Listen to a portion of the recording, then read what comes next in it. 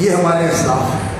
हमें इनकी ज़िंदगियों को अपनी ज़िंदगी के अंदर लाने की कोशिश करनी है ये सिर्फ़ चंद मसले और इनके ऊपर मुनाजरे और इनके ऊपर ताकीकें और फतवेबाजियाँ और सिर्फ़ ये कि ये फ़लाँ वासिल हुआ और फ़लाँ ऐसे हुआ और फ़लाँ ऐसे हुआ, ये असल काम नहीं है। असल काम है लोगों को जहन्नम से बचाकर जन्नत के रास्ते पर लगाना। और अल्लाह से टूटे हुए और अल्लाह से भागे हुए को पकड़ के अल्लाह की चौखट में ला के निभा देना। और अल्लाह से टूटे हुए को अल्लाह के साथ मिला देना। लेकिन ये वही मिलाएगा जो खुद जुड़ा हुआ है। जो खुद नहीं जुड़ा हुआ, वो कैसे जुड़ेगा? जिसका अपना लिंक नहीं है, वो कैसे लोगों का लिंक बात करेगा? हम और हमारे असलाफ। ये मौजू एक इंतहाई फ़िक्र अंगेज और बाशूर और होशमंद इंसान की ज़िंदगी के अंदर एक ऐसा आमिल है, अगर इंसान इस पर सही गौर करे, संजीदगी से इसे अपनी तवज्जो और अपनी सोच का महवर बनाए तो ये इंसान की ज़िंदगी के एक ऐसा नुक़ तहवुल टर्निंग पॉइंट साबित होता है कि इंसान जो बिल्कुल हैरान होता है कि मैं कहाँ जाऊँ, मैं किधर का रुख करूँ, मैं क्या करूँ, मैं क्या बनूँ। अगर वो अपने आप पर गौर करे और अपने असलाफ की ज़िंदगियों को सामने रखे तो उसके सामने रास्ता बिल्कुल अया हो जाता है। राह रोशन हो जाती है। कि तू क्यों सब करना है? तू क्यों परेशान है? तू क्यों इधर उधर भटक रहा है? ये रास्ता है, रोशन रास्ता। और ये रास्ता है, जिस पर चलने वालों के निशान कदम दरक्षा और ताबा हैं। कहे देती है रोश, कहे देता है नक्शे पा कि अभी इस राह से कोई गया है। कहे देती है शोकी नक्शे पा की कहे देती है शोकी नक्शे पा की अभी इस राह से कोई गया है ये रास्ता तेरे सामने है। और इसके जो निशानात हैं ये तेरे सामने रोशन है, आज़ाद वाले हरिया आ तो इस रास्ते के ऊपर चल। और इस रास्ते पर चलने वाले दोनों जहान में कामयाब हैं। दोनों जहान में कामयाब हैं। और तू तू परेशान हो रहा है। तेरे पेशरो वो हैं, और जो तेरे पेशरो हैं, अगर तू इनके साथ अपने आप को जोड़ना चाहता है तो उनकी ज़िंदगियों का मुताला कर और उनके कारनामों को सामने रख और फिर अल्लाह से दुआ कर कि अल्लाह हमारे मिसाल अल्लाह मुझे इनसे मिला दे, मुझे इन तक पहुँचा दे, इनमें शामिल फरमा दे। तो फिर अल्लाह रब्बुल दस्तगिरी फरमाते हैं और जिनसे मिलने की इंसान तमन्ना रखता है और उनकी राह को अपनाने की इंसान कोशिश करता है तो अल्लाह रब्बुल की ये बंदा नवाजी और उसकी ये करम फरमाई है कि अल्लाह उसे मालूम नहीं करते, अल्लाह उनमें शामिल फरमा देते हैं। अल्लाह उनमें शामिल तो हमारे असलाफ, अल्लाह अकबर, इस उम्मत मुस्लिमा के इमाम तो मोहम्मद रसूलुल्लाह सल्लल्लाहु अलैहि वसल्लम और वो सिर्फ़ इस उम्मत के ही इमाम नहीं हैं, बल्कि वो नबियों की उम्मत के भी इमाम हैं, जिनके बारे में अल्लाह रब्बुल ने फरमाया इन हाली उम्मत उम्मत वाहिदा. ये नबियों की उम्मत सूरतलम्बिया में और सूरतलमोमिनून में अल्लाह रब्बुल ने ये फरमाया कि ये नबियों की उम्मत एक ही उम्मत है, बल्कि रसूल अकरम सल्लल्लाहु अलैहि वसल्लम ने फरमाया, वो सब भाई और रसूल अकरम वसल्लम को अल्लाह रब्बुल ने फरमाया, वह अना रब्बुकुम, मैं तुम्हारा रब फ़त्तकून फ़ाबुदून, मेरी इबादत करो और मेरा तकवा अख्तियार करो।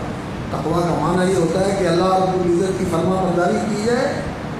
अल बिमा अमारा वाल इंतहा अम्मा नहा हुआ जजा जो हुक्म दिया, उसे पूरा किया जाए, जिससे रोक दिया, उससे बात रखा जाए। ये तकवा है। और यही इबादत, यही पूरा दी और नबी सल्लल्लाहु अलैहि वसल्लम को फरमाया सूरत नाम के अंदर जहाँ अम्बिया का तफसील के साथ नाम लेकर अठारह नबियों का ज़िक्र फरमाया ये वो लोग हैं जिन्हें अल्लाह ने हिदायत दी थी, सही रास्ता दिखाया था। आपने भी कभी उदा मुख्तद इनके रास्ते के ऊपर और इनकी राह के ऊपर चलना है। तो रसूल करम सल्लल्लाहु अलैहि वसल्लम को उनकी राह अख्तियार करने का हुक्म दिया गया। हालाँकि वो उनके इमाम थे। क्यों? इसलिए कि जो लोगों के साथ हालात गुजरे होते हैं और जिन हालात में लोगों ने काम किया होता है, जब इंसान उनको देखता है तो उसके साथ भी ज़िंदगी में तकरीबन मिलते जुलते ही हालात होते हैं तो इंसान का हौसला बुलंद हो जाता है। और इंसान ये समझता है कि जो कुछ मेरे साथ हो रहा है, ये नया नहीं। ये पहलों के साथ भी होता रहा है। अल्लाह अकबर। अल्लाह रब्ज़त ने फरमाया वकलाली का जालना फिर कुल्ली करियत ना काबिरा बिहा ये बड़े बड़े फ़िरौन वक्त के जो आपके ख़िलाफ़ सफ आ रहा है और आपका रास्ता रोके हुए मुजाहिम हो रहे हैं, ये कोई नए नहीं है, ऐसे पहले भी होता रहा है। पहले नबियों को भी। वहीं कजबू का फ़कत खुशी बस रसुल मिन कबल आपको जुटलाते हैं तो आपसे पहले को जुटलाया अगर आपके साथ ये कर रहे हैं तो ये कोई नया नहीं है। पहलों के साथ भी ऐसा ही होता रहा है। अल्लाह हम हासिब तुम तदुलजना वलम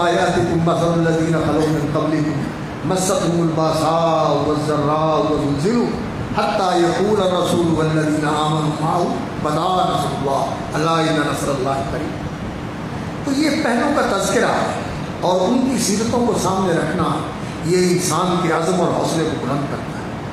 वकुल्लन नकुस वाले का मिन अम्बाए रसूली माल सब्बी तो भी फुआदा ये नबियों के वाक़ात आपके सामने ज़िक्र किए हैं आपके दिल को मज़बूत करने के लिए, आपके अज़म और हौसले को बुलंद करने के लिए।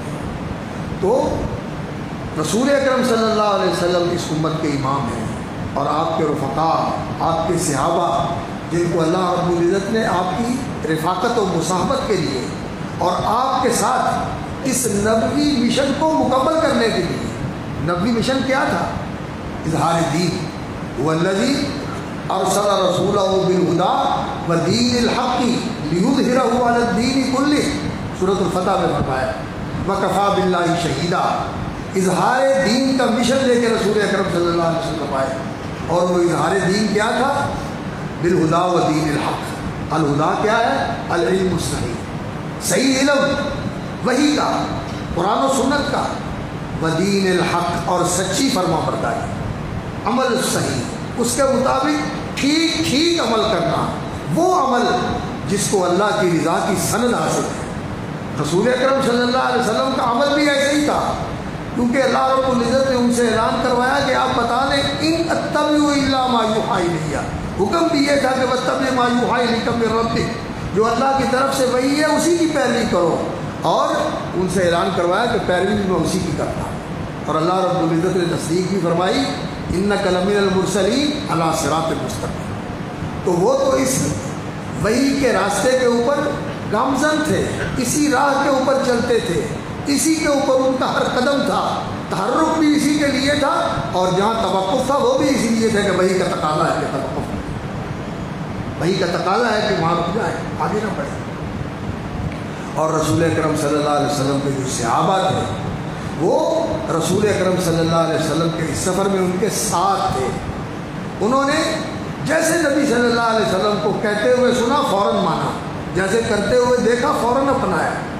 और किसी मामले में भी उन्होंने रसूल अक्रम सल्लल्लाहु अलैहि वसल्लम को मायूस नहीं किया कि आपके किसी हुक्म से सर गिरानी दिखाई हो। सरकशी तो दूर की बात है सर गिरानी भी नहीं दिखाई। ये भी नहीं कि ये कैसा हुक्म आ गया नहीं। जो उन्होंने कहा, दिलो जान से कबूल किया। और यही नहीं कि सिर्फ़ बातें मानते थे, बल्कि वो रसूल अक्रम सल्लल्लाहु की चाहते मानते जो आपकी चाहत है, उसको भी पूरा करते आप सल्लल्लाहु अलैहि वसल्लम की चाहत की रियायत करते थे कि आप चाहते क्या है। वो इस तरह मानने वाले थे और वो इस उम्मत के सनफ अल्लाह रब्बुल ने इनको आने वाली सारी उम्मत के लिए पेशरा बनाया है सनफ बनाया है। और नबी सल्लल्लाहु अलैहि वसल्लम ने फरमाया, खैर उम्मती करनी और खैरनासिक करनी। मेरे सिहाबा, मेरी जमात, मेरे ज़माने के लोग जो मेरे साथ हैं, ईमान के साथ, जिन्होंने रसूल अक्रम सल्लल्लाहु अलैहि वसल्लम की रिफाकत सोबत अख्तियार की, ये खैरनास सारे लोगों में बेहतरीन आने वाले ही नहीं बल्कि पहले गुजरने वाले नबियों के बाद जितने लोग हैं, सब में बेहतरीन लोग हैं। खैर उन्ना से कम ये अल्फाज रसूल करम अलैहि के जवाम और कलीम में से। और इसी को ही शायद पेश नज़र रखा है अलामा मुहिबुद्दीन अलखतीब रहमत ने। उनकी एक किताब है अरबी में अलजील मिसाली, के इंसानियत का वो गिरोह जो आइडियल है। मिसाली गिरोह है आइडियल गिरोह है कि इन जैसे इंसान नबियों और रसूलों के बाद पूरी इंसानी तारीख में उसकी मिसाल दी ये कराम जिनको अल्लाह ताला ने मोहम्मद रसूलुल्लाह वसल्लम की रिफाकत हो आप सल्लल्लाहु अलैहि वसल्लम की मुसाहबत के लिए मुंतब अलजील मिसाली अलफरीक और फिर ये यगाना और यकता है, ये ऐसा है कि इनकी मिसाल नहीं मिलती और मिलेगी कैसे? अल्लाह अकबर, ये उस ज़ात गिरामी के साथी हैं, जिसको अल्लाह रब्बुल्ज़त ने पूरी इंसानियत से चुना था। तो उनके साथी भी अल्लाह रब्बुल्ज़त का पूरी इंसानियत में से इंतखब है, जिनको अल्लाह रब्बुल्ज़त ने उनके साथ मिला तो असल तो हमारे सलफ़ ये है, हर दौर के इंसानों के लिए। ये हमारे असलाफ हैं। हमने इनके नक्श कदम पे चलना है। ये सबीलमोमिन है। ये सबीलमोमिन है, और ये अहले ईमान है, और ये वो जमात है, जिस जमात के अंदर शामिल होने की रसूल करम सल्लल्लाहु अलैहि वसल्लम ने हमें तलकीन फरमाई है। वो इमाम तिरदी रहमत ने जो हदीस नकल की है, कि हज़रत उमर रज़ी अल्लाह ने जाबिया के मकाम पर खुतबा दिया था, और उन्होंने कहा कि एक दिन इसी तरह अल्लाह के रसूल सल्लल्लाहु अलैहि ने हमारे दरमियान खड़े होकर खुतबा दिया था, और आपने फरमाया था अलई तुम बिल जमा मन अरादा बुहबूहत जन्ना, फल जमा। जो जन्नत के अंदर अपना घर बनाना चाहता है, वहाँ जाके रहना चाहता है, फल यलजमिल जमात वो इस जमात को लाजिम पकड़े। ये जमात स्याबा की जमात है। ये स्याबा की जमात है। वो हमारे सलफ हैं। अवलीन सलफ हमारे कौन हैं? स्याबा कराम ज़ुबान भाई। और फिर उनके बाद ताबई और फिर उनके बाद अतबा ताबई और फिर तबा अतबा ये चार गिरोह हैं। स्याबा, सबकून अव्वलून, किबार से आबा अवसाद से आबा सिगार से आबा और वो सारे से आबा जो ईमान लाए और ईमान की हालत में इस दुनिया से चले गए, जिनसे कोई लफ्ज़श हुई, जिनसे कोई तकसीर हुई, जिनसे कोई कोताही हुई, ये सब कुछ अपनी जगह पर तारीख के अंदर लिखा हुआ है। लेकिन अल्लाह रब्ज़त ने हमारे लिए एक ऐसी अल्लाह अकबर, मिसाल कायम कर दी। सूरह आल इमरान के अंदर, जहाँ अल्लाह रब्ज़त ने इस्लाम की हकीकत बयान फरमाई। और इस्लाम की हकीकत बयान फरमाने के साथ जंग उहद का ज़िक्र फरमाया गजबा उहद का ज़िक्र फरमाया और गजबा उहद के अंदर सिहाबा को जिक पहुँची। जख्माए जाने गई, और परेशानी हुई कि रसूल अक्रम अलैहि वसल्लम के बारे में भी खबर उड़ गई कि आप सल्लल्लाहु अलैहि वसल्लम भी दुनिया से तशरीफ़ ले गए। आप सल्लल्लाहु अलैहि वसल्लम भी शहीद हो गए। तो सहाबा बहुत परेशान हो गए। तो अल्लाह रब्बुल्ज़त ने कुरान मजीद में जो उनसे लग्जश हुई, उसका ज़िक्र फरमाया है। अल्लाह अकबर। तो ज़रा वो उसलूब अगर इंसान के सामने हो और इंसान उसको अपने लिए रहनुमा बनाए तो कैसा उसलूब है? अल्लाह अकबर। फरमाया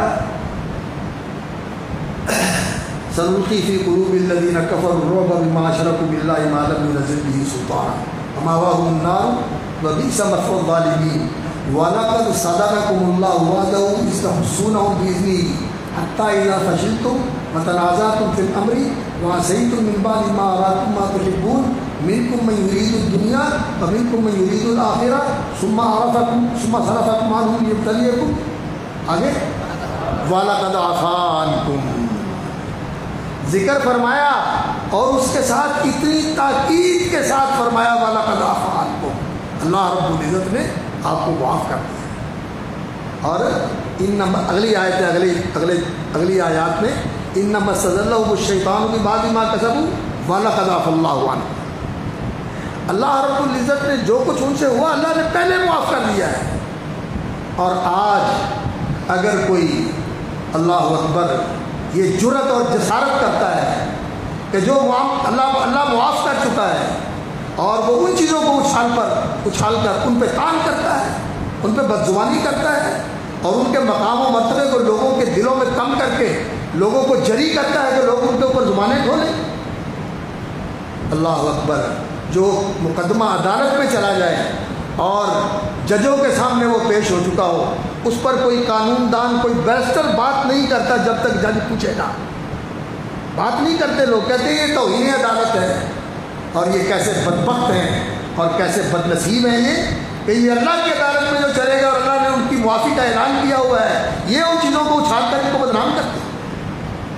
ये इंसान की इंतहा दर्जे की बदबख्ती है कि जिन्हें अल्लाह माफ़ कर चुका और अल्लाह ने उनके लिए अपनी रज़ा का ऐलान कर दिया। आज तुम उनको अल्लाह अकबर अपनी ज़ुबान के ऊपर लाकर उनकी तनकीस करते हो और उनकी तोहन करते हो। तो ये एक बहुत बड़ा फितना है। सलफ़ के मुतलक जो रवैया है, वो यही कि उनके महासिन का ज़िक्र किया जाए और अगर कमज़ोरी है, अल्लाह अकबर तो ये गंदे कपड़े दफन कर देने चाहिए। मौलाना इसमाइल सलवी रहमत ने तहरीक आज़ादी फ़िक्र के अंदर बहुत खूबसूरत किताब है। और हमारे हाफि साहब भी आप लोगों को नसीहत किया करते हैं और मैं भी अपने अज़ीज़ तलबा को ये कहा करता हूँ कि ये किताब एक बार नहीं, बार बार पढ़ने की किताब है। इसमें हमारा मन है। तो अगर वो कमज़ोरी है, अगर कोई चीज़ है तो जाने के बाद इन चीज़ों को उछालना नहीं चाहिए। और स्याबा कराम मजमई तो वो सनत है, जिनके लिए अल्लाह रब्बुल्ज़त ने जन्नत के वादे किए। और अल्लाह रब्बुल्ज़त ने उनको वादल्लाहसना बकुल्लम वादल्लाहसना जन्नत का अल्लाह ने उनसे वादा किया और आदल्ला जन्नत नजरी ताहत और जो बाद में आने वाले हैं, उनके लिए एक ही रास्ता कि वल्लदी न तब एहसान हुसन नीयत, हुसन कसर और हुसन अमल के साथ वो उनके नक्शे कदम पे चले, उनकी पैरवी। तो ये है हमारे इसलाम खैर के लोग, जिनकी खैरियत की, जिनके बेहतरीन होने की नबी सल्लल्लाहु अलैहि वसल्लम ने गवाही दी। और उसके बाद फिर वो आइम दीन है। वो मुजतदीन हैं फ़ुकाए मुहदसिन हैं, और मुहदसिन का वो गिरोह है। जिन्होंने रसूल करम अलैहि वसल्लम की सुन्नत और सीरत और आप अलैहि वसल्लम के फ़रामीन व तालीमत और आप अलैहि वसल्लम के इर्शादात जमा करके उम्मत के लिए आसानी कर दी। जिस चीज़ के बारे में जो वो जानना चाहते हैं कि अल्लाह के रसूल ने ये काम कैसे किया था तो ये सुन्नत के दवावी हमारी रहनुमाई करते हैं। और वाक़ता ये सुन्नत का ज़ख़ीरा ऐसा है, आजकल ये वीडियो और ये कैमरे और ये लाइव प्रोग्राम जो हैं, ये तो किसी चीज़ को इस तरह मुंतकिल करके महफूज नहीं कर सकते। जिस तरह सहाबा कराम ने नबी सल्लल्लाहु अलैहि वसल्लम की ज़िंदगी को महफूज कर दिया। अमल के साथ, रिवायत के साथ और इतबा के साथ इतदा के साथ उनकी ज़िंदगियों के अंदर रसूल करम सल्लल्लाहु अलैहि वसल्लम की ज़िंदगी का आपके साथ झलक नज़र आती है इस तरह उन्होंने नबी वसल्लम की ज़िंदगी को जज्ब किया। था और आगे उनके शागिर्दों के अंदर भी ये सिलसिला चलता रहा। जैसे वो आपने पढ़ा होगा और सुना होगा कि हज़रत अब्दुल्ला इब्न मसूद कहते थे कि ये नबी सल्लल्लाहु अलैहि के साथ अशबहन्नास में रसूल सल्ला हदियन व दल्लन व समतन अपनी चाल चलन में, अपने बोल चाल में, अपनी वज़ाकता में, अपने रहन सहन में नबी सल्लल्लाहु अलैहि वसल्लम की पूरी ज़िंदगी की झलक अब्दुल्ला बिन मसूद की ज़िंदगी में नज़र आती है। और अब्दुल्ला बिन मसूद की ज़िंदगी उनके शागिर्द इब्राहिम तैमी की ज़िंदगी के अंदर नज़र आती है। और उसके बाद इसी तरह ये सिलसिला चलता हुआ, आगे शागिर्दों से चलते हुए इमाम अहमद की ज़िंदगी में ये नज़र आता है। ये सहाबा कराम की ज़िंदगियाँ इन लोगों ने जज़ब की। और इनके अंदर वो ज़िंदगी नज़र आती थी। और असल सलफ़ के साथ ताल्लुक़ यही है कि उनके इलम को भी लिया जाए और उनके अमल को भी लिया जाए। इमाम मालिक रहमत की वालदा माजदा ने अल्लाह अकबर, बेटे को तैयार किया। गरीब लोग थे। बाप उनके बेचारे लोहे के तीर, उनके पीछे जो लकड़ी का फल है वो ये लगाते थे। मजदूरी करते थे, हाथ की मजदूरी करते थे। गरीब आदमी थे।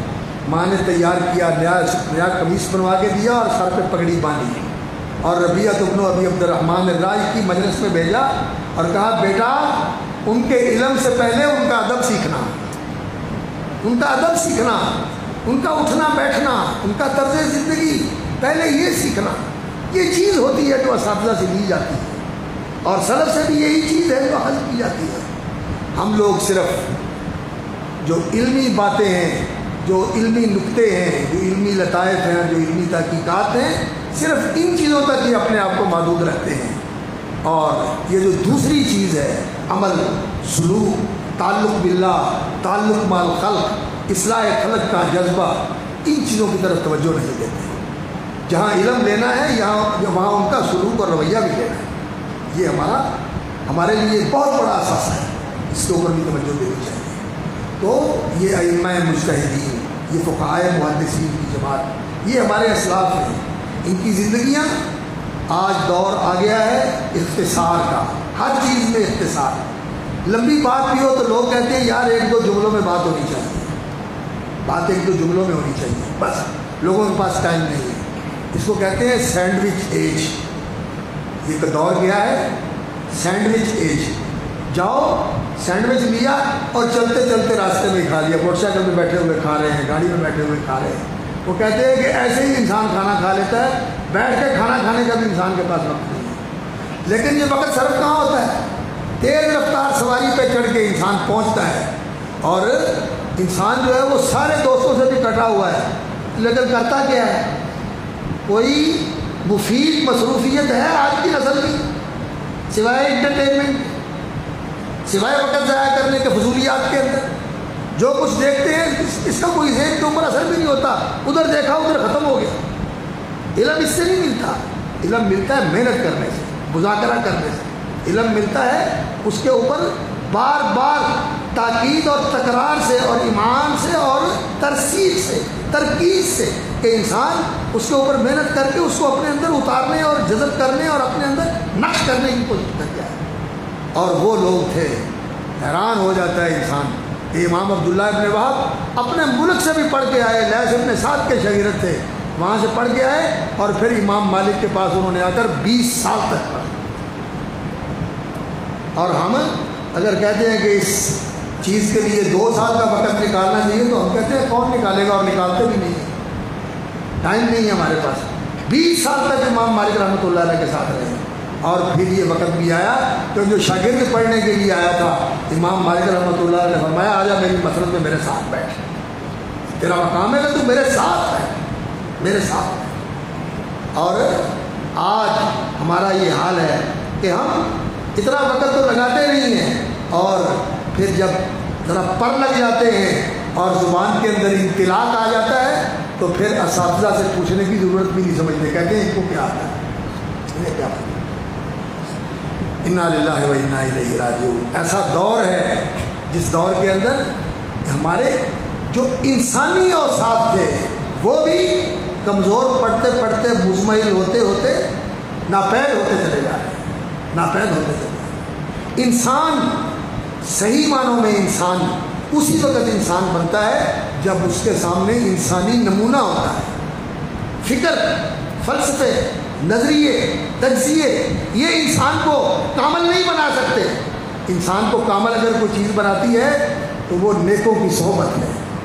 सोहबत साले तुरा साले तुरा और अलमरु वाला दीन खलील जिनके साथ इंसान का उठना बैठना होता है, इंसान उनसे मुतसर हुए बगैर नहीं रहता। तो अपने ज़माने के नेक लोगों के साथ भी ताल्लुक़ रखना चाहिए। लेकिन इन लयुमन वाले फितना। जो ज़िंदा होता है, इसका पता नहीं कि इंजाम क्या होगा। अल्लाह ताला हम सब का इंजाम अच्छा फरमाए। दीन पर इस्तेकामत नसीब फरमाए। अल्लाह रब्बुल हमें राय राज के ऊपर कायम रखे। लेकिन अल्लाह से पनाह मांगनी चाहिए कि नऊज़ुबिल्ला अल्लाह महीना नऊज़ुबिका मिनल हाउरी बादल कौर। अल्लाह, हम तेरी पनाह चाहते हैं कि आगे बढ़ने के बाद फिर पीछे हट जाए। ऐसी मिसालें हैं कि लोग थे, एक वक्त बड़े अच्छे थे। लेकिन आखिर उम्र में अच्छे नहीं रहे अल्लाह महीना रऊज़ कबिल हौरी बादल को इंसान को पना मांगनी चाहिए। लेकिन जो पहले गुजर गए, सलफ, और इसी रास्ते के ऊपर चलते हुए गुजर गए, और उन्होंने इस रास्ते को नहीं छोड़ा, इनको सामने रखकर, उनकी ज़िंदगियों का मुताला करके, और उनके साथ वक़्त गुजार के, उलमा जो थे, वो हमारे इस निसाब के अंदर ये शामिल था। कि अल्लाह अकबर, मेरा ख्याल है आप में से शायद इस ने तो पढ़ी होगी। आप लोगों ने भी शायद इसका मुताला किया हो। बर सग़ीर में मुसलमानों का निज़ाम तालीम व तरबियत। मौलाना मनाजर असल गिलानी की किताब है, पढ़ने वाली किताब है। इस को उसका मुताला करना चाहिए। और तलबा को भी उसका मुताला करना चाहिए। उसमें निसाब भी ज़िक्र किया हुआ है। तो अखबार और अखियार शाह अब्दुल हक मुहदस जैनी रहमत की किताब, ये हमारे निसाब में शामिल अखबार और ये अल्लाह का तस्करा हमारे वाल साहब रहमत उनके सफ़र के अंदर हर वक्त उनके साथ सिफ़तुलसफ़ा हिलियतुलौलिया का इख्तसार है रामायतुलजौजी रहमत ने किया हुआ है सिफ़तुलसफ़ा हर वक्त उनके साथ रहती थी। इन लोगों की सोहबत और इन लोगों की रिफाकत इसके इंसान की ज़िंदगी के अंदर असरात होते हैं।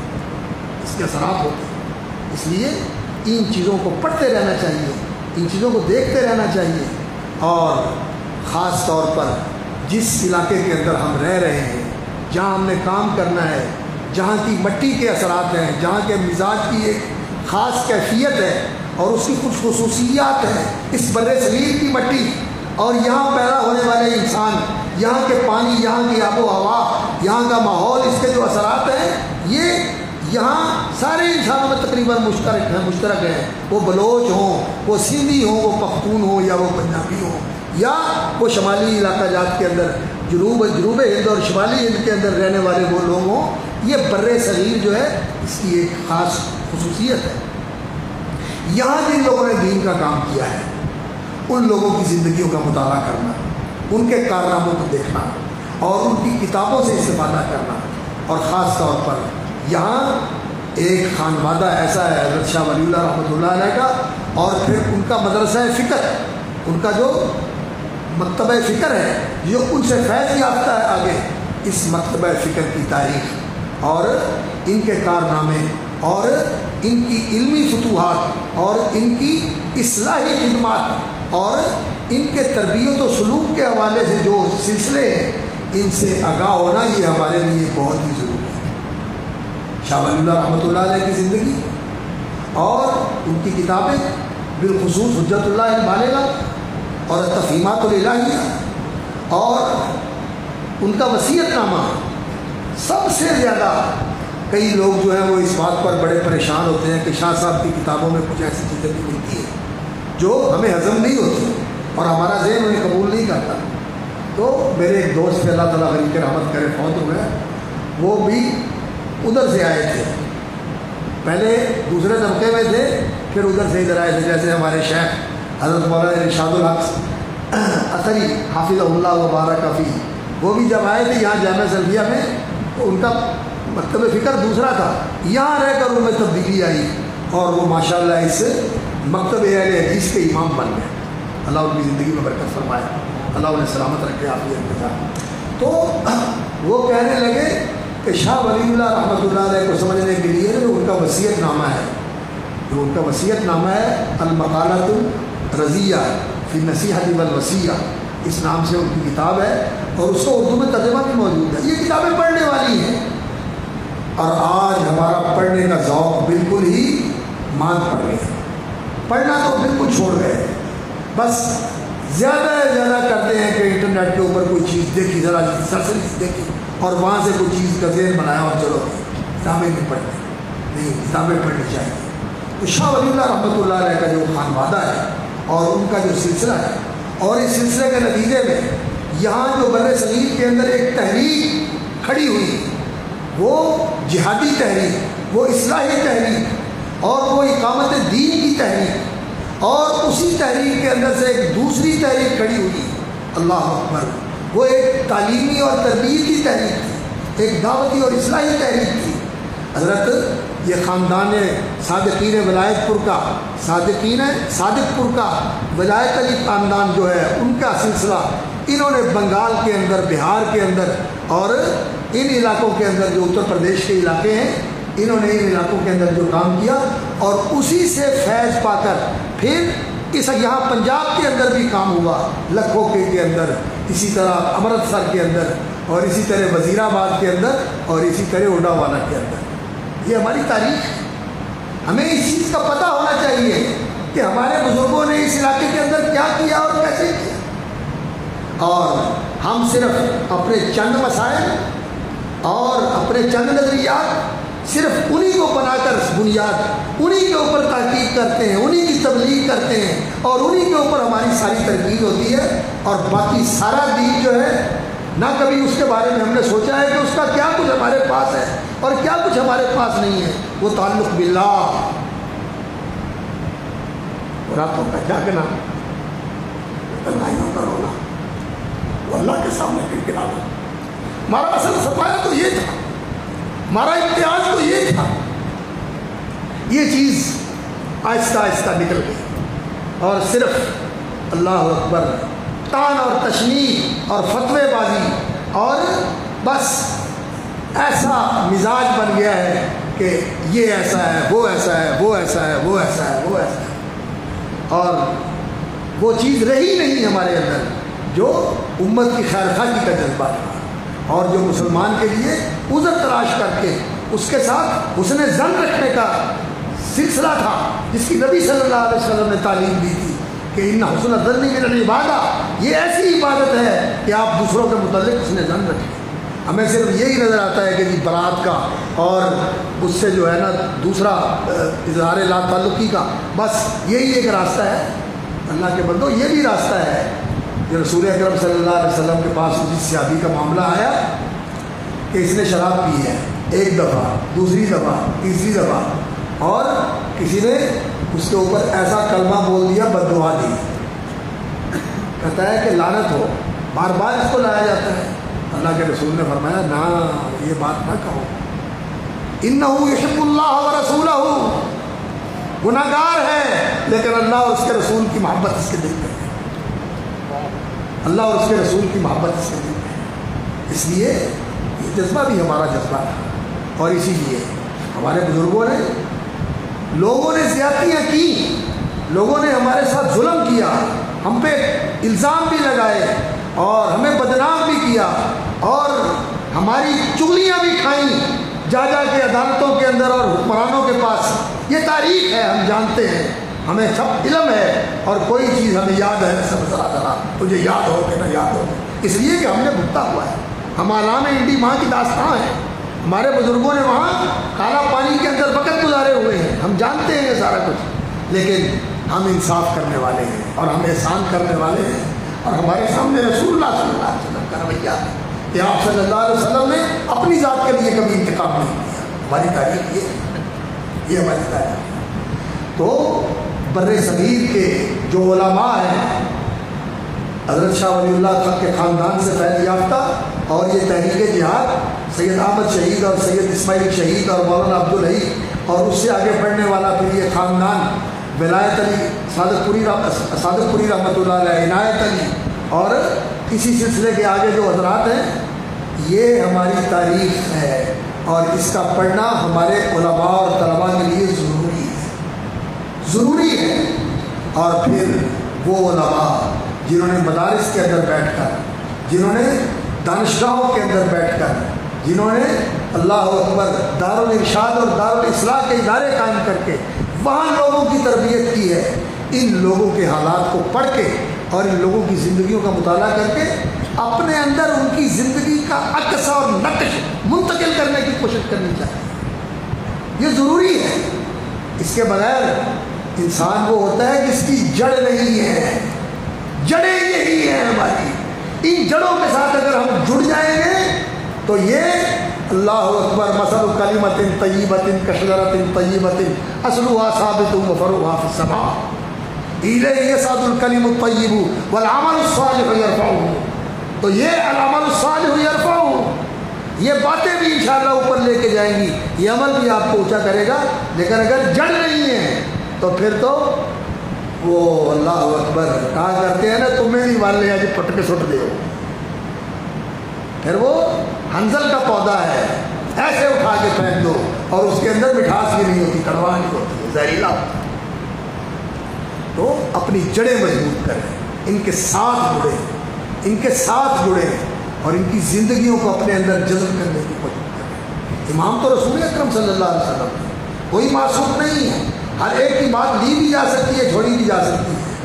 और स्याबा कराम से लेकर आज तक जो हमारे असलाफ हैं अल्लाह अकबर और मैं सच्ची बात है नशक करता हूँ कि अल्लाह रब्ज़त ने हमें इस इदारे के साथ नस्बत दी है। यह जामियत सलफ़िया, इसकी बुनियाद रखने वाले इसकी तासीस के मौके पर यहाँ जमा होने वाले और दुआएँ करने वाले, वो इस फैसलाबाद की सरजमीन के किबार और अल्लाह थे। यहाँ इकट्ठे होकर उन्होंने इसकी बुनियाद रखी। और फिर जो वक्त के असातीन इलम थे। उन्होंने उन हजरात को यहाँ जहमत दी और उनसे दरख्वास्त की कि वो यहाँ आकर अपना इल्मी और अपना तहकीकी और रूहानी फैज़ इस नस्ल तक आगे मुंतकिल करें। और जो अव्वलीन शागिर्द थे, वो लाहौर के शागिर्द हों, जब जाम सल्फिया वहाँ दारूम तकवीत इस्लाम में था, या वो यहाँ के शागिर्द हों, जब जाम सल्फिया एक बिल्कुल चारों तरफ़ खेत थे और यहाँ रेत होती थी। तो जहाँ, यहाँ जिन लोगों ने पढ़ा, वो अजीम लोग वो हमारे सलफ हैं, वो भी हमारे सलफ हैं। उनके बारे में भी जानना। एक दफ़ा मैं गया मौलाना उबैदुल्ला हफीफ रहमल्ला के साथ। मिलने के लिए बीमार थे तो मैं उनकी बीमार खुशी के लिए चला गया। तो वो अपने जाम सरफिया के दौर का तस्करा सुनाने लगे। अल्लाह इतना दर्द अंगेज़ और असर अंगेज तस्करा था जो उन्होंने सुनाया मुझे, मैं तो हैरान हो गया। कि वो कैसा दौर था और कैसे लोग थे जो यहाँ पढ़ते थे और यहाँ पढ़ाते थे। तो खैर, मैं अर्ज़ ये कर रहा था कि ये जो हमारा जामिया है और ये जो हमारी सरजमीन है फैसलाबाद की, यहाँ एक वक़्त था कि अपने दौर के किबार अलिया अल्लाह जमा थे। हज़रत सूफी अब्दुल्ला साहब रहमत उडा वाला हज़रत मियाँ बाकर साहब रहमत हाफज अब्दुलमन्नान वज़ीराबादी रहमत के शागिर्द तांदलिया वाला में जोग दादू में और सूफी मौला बख्श उम्मी रहमत वो क्या नाम है उसका? सईद वाला? हाँ? सैद वाला? सैद वाला नहीं। वो सैदपुर के पता नहीं क्या नाम है टोबे की तरफ़। हाँ सैदपुर सैदपुर। टोबे की तरफ़। वहाँ के रहने वाले। जानी वाला स्टेशन अल्लाह तो ये लोग थे यहाँ। और इनका इल्मी फैज़ भी और इनका रूहानी फैज़ भी इस सरजमीन को हासिल है। और इस इदारे का भी उनके साथ ताल्लुक था। और वो लोग यहाँ जमा हुए, उन्होंने इसके लिए दुआएँ की। ये हमारे असलाफ और इनका ये जो सिलसिला था, ताल्लुक बिल्ला का, और असलाह खलक का, और दीन की खिदमत का, अल्लाह अकबर। वो हमारे सूफ़ी आय साहब रहमत ने मुझे सुनाया। फरमाने लगे, मैं जब सूफ़ी साहब के साथ वाबस्ता हुआ तो मैंने ख्वाब देखा।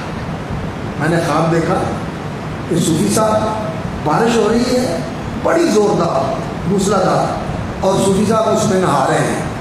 तो बिल्कुल बरहना है, लिबास कोई नहीं है। बगैर लिबास के बारिश के अंदर नहा रहे हैं। कहते मेरे जहन में कुछ अजीब सी बात आई। कि सूफी साहब लिबास के बगैर हैं, और इंसान तो तकवे के लिबास में होता है। तो ये क्या बात हुई? कहते हैं कि मैं सूफी साहब के पास ही चला गया। मैंने कहा, हज़रत, ख्वाब आई है। एक बंदा है, वो बारिश में नहा रहा है और बिल्कुल बेलिबास है। फरमाते हैं और याश उमदा उस बंदे के अल्लाह के दरमियान फासला ही कोई नहीं, वास्ता ही कोई नहीं, सीधी रब आ रही है।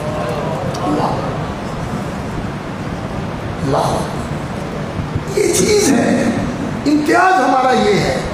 और इसकी आज बड़ी कमी महसूस होती है। बड़ी कमी महसूस होती है। और रसूबी मियाँ बाकर साहब रहमत हमारे वालिद साहब रहमत उनके खसूसी जगह उनके खसूसी जगह और वो उनसे मोहब्बत करते थे अल्लाह।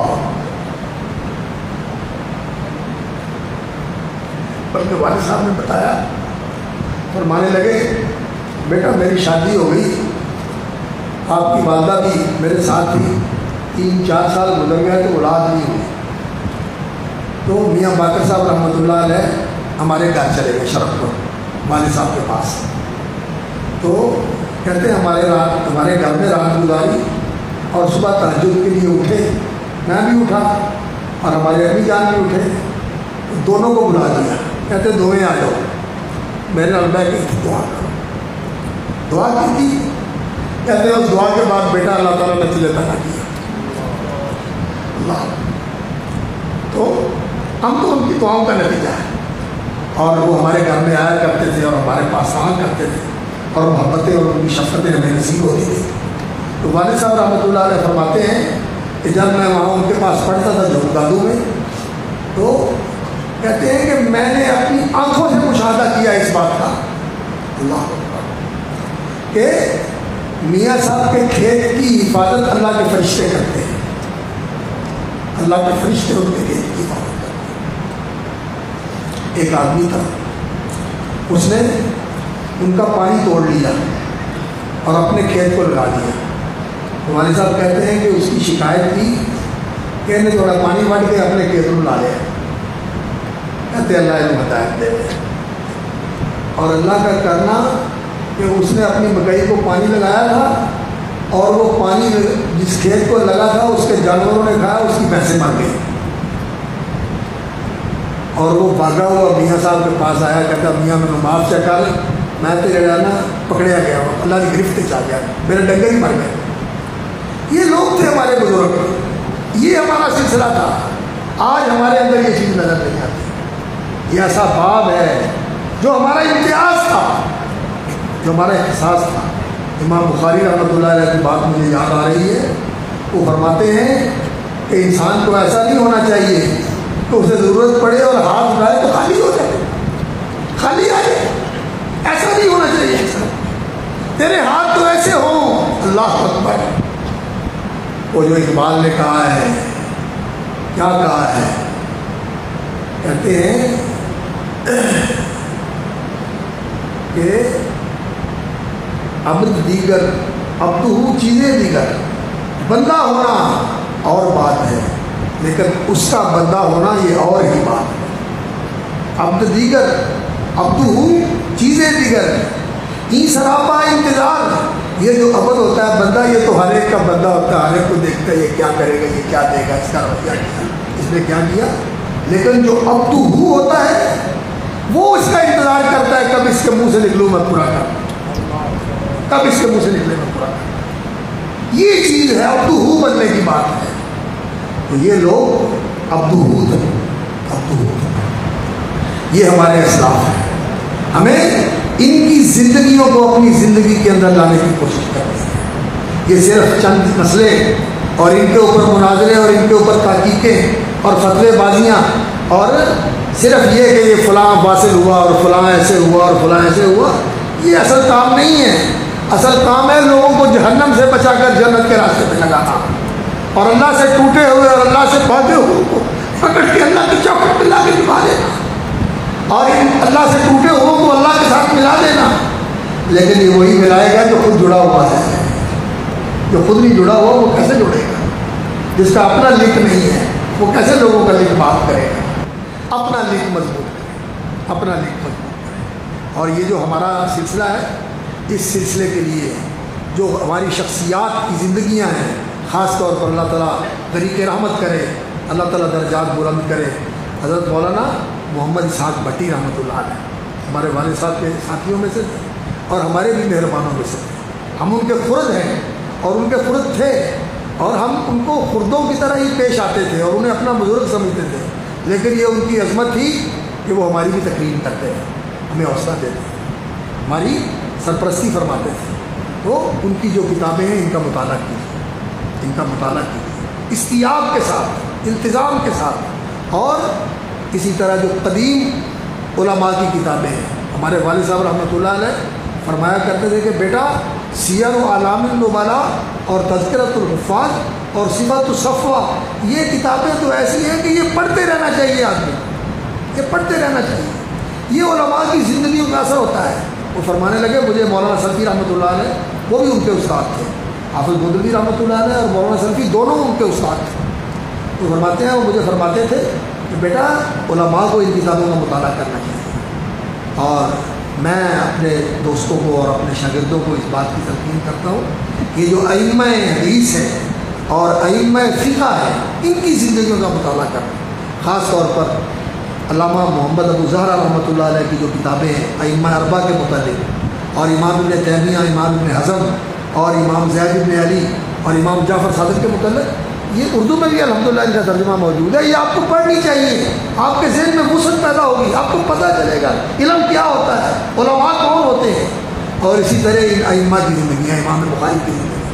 और ख़ास तौर पर सीरतुल्बुखारी मौलाना अब्दुलसलाम मुबारकपुरी रहमत ये चीज़ें हमारा इम्तियाज़ है। इनमें हमारे लिए रहनुमाई है। ये किताबें पढ़नी चाहिए। और ये जब तक हम अपने अंदर इन्नी ज़ौक और इन शख्सियात के साथ मोहब्बत का ताल्लुक़ और इनके साथ इस तरह की दिली मुआनसत और मुआफ़त और मुनासबत ये हम पैदा नहीं करेंगे, नस्बत क्या होती है?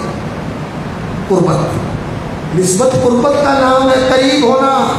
जो नसब होता है ये कराबत ही तो होती है जो दौड़ देती है ये खून की कराबत ये जिस्म जान का ताल्लुक, ये जीनियात का ताल्लुक, ये नसब है। और नस्बत यही है कि आप किसी के साथ इस तरह की कुर्बत पैदा कर उसके साथ कुर्बत पैदा कर और ये नस्बत है कुर्बत का ताल्लुक और मोहब्बत का ताल्लुक और मुआनसत और मुनासबत और मुआफ़त का ताल्लुक।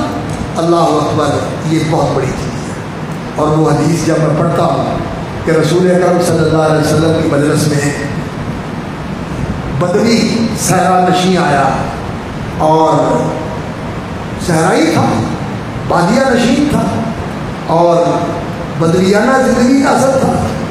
तो नबी सल्लल्लाहु अलैहि वसल्लम को कहता या मोहम्मद या मोहम्मद या मोहम्मद सल्लल्लाहु अलैहि वसल्लम। तो नबी सल्लल्लाहु अलैहि वसल्लम ने उसको भी उसी के जवाब में अंदाज, उसी के अंदाज में जवाब दिया। हम हाँ गल कर। की करना है? हाँ। नबी सदर ने डांटा, सियाबा ने डांटा। तो उन्होंने कहा, ये अल्लाह के रसूल है, उठी ना बोलो। लेकिन उसने परवाह नहीं की। और पूछता क्या है? कहता है, अल्लाह के रसूल, मुझे बताइए, अर्रजुल, अल्लाह अकबर युहिबु कौमन एक बंदा है जो कुछ लोगों से मोहब्बत रखता है। बलम्मा हक भी लेकिन पल्ले कुछ नहीं, अमल कुछ नहीं है। उन जैसा न सलूक है, न किरदार है, सिर्फ़ यही है कि जो हिब्बो उनसे मोहब्बत करता है। तो अल्लाह के रसूल ने फरमाया, मर उमा मन अब्बा जिससे मोहब्बत करता है, अल्लाह उसके साथ मिला देगा। तो इनसे मोहब्बत कीजिए, और इनको अपनाने की कोशिश कीजिए, और इनसे मिलने की कोशिश कीजिए तो ये मोहब्बत इन उनके साथ मिला देगी। वाखिर अलहमदिल्ला